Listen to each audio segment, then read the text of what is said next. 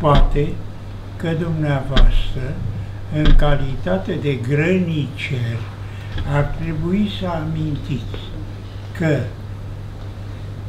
în 1941, la Odessa, grănicerii au fost aceia care au salvat viața generalului Iacobici.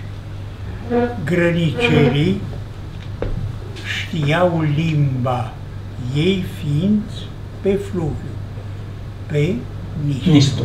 Da. Și în momentul în care Iacubici a venit la sediu comandamentului românesc, unde neglijenții aia au intrat fără să verifice clădirea, au venit doi, trei dintre grânci și au spus, nu intrați, clădirea este minată.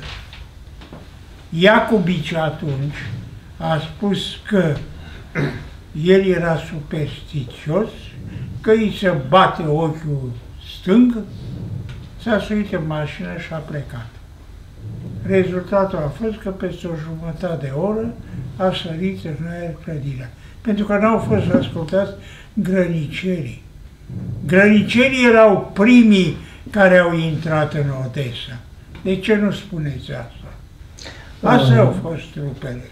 Deci grănicerii au fost... Cavaleriștii, cavaleriștii lui Marcel Olteanu și grănicerii. Ei au cucerit Odessa.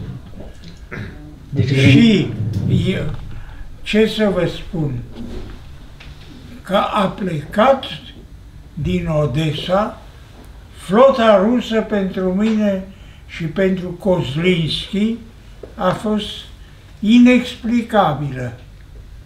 Cum Dumnezeu intră trupele române, intră artileria și flota sovietică pleacă.